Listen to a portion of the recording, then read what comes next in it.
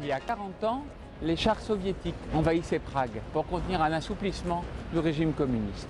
Aujourd'hui, 19 ans après la chute du mur de Berlin, la République tchèque est au cœur de l'Union européenne et s'apprête à assumer sa présidence tournante.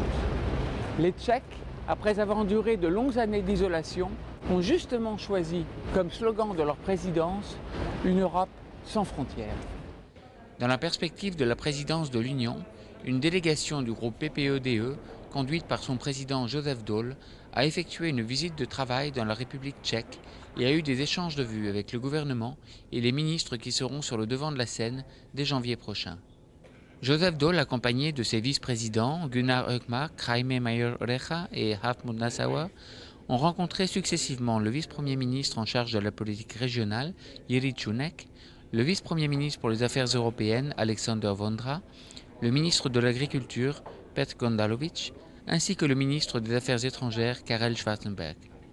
Alexandre Vondra a souligné que le gouvernement tchèque concentrera ses efforts sur la crise économique, sur l'énergie et sur le renforcement des liens avec les États-Unis.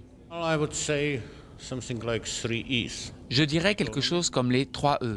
Économie, nous devons faire face à une crise financière qui risque de nous mobiliser très fortement.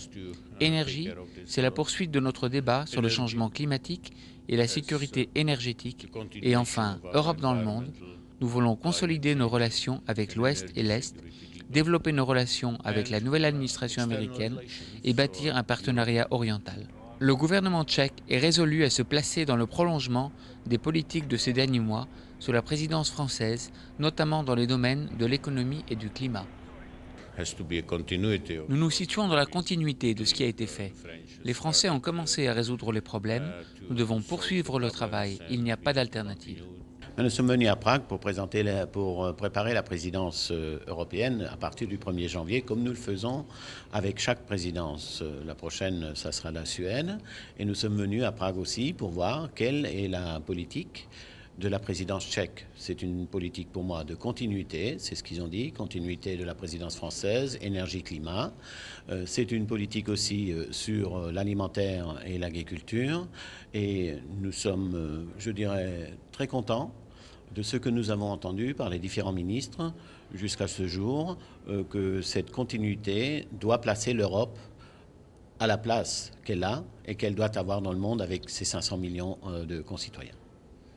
La réussite de la présidence est d'une importance majeure pour les Tchèques et pour leur gouvernement. Ils prouveront ainsi qu'ils sont plus que jamais au cœur de l'Union européenne. Et ils pourront d'autant mieux le faire s'ils parviennent à organiser, ici à Prague, le prochain sommet Europe-États-Unis. Nous savons que les chefs d'État et de gouvernement des 27 États membres de l'Union souhaitent pouvoir rencontrer le nouveau président américain ici au printemps prochain. soon in the spring.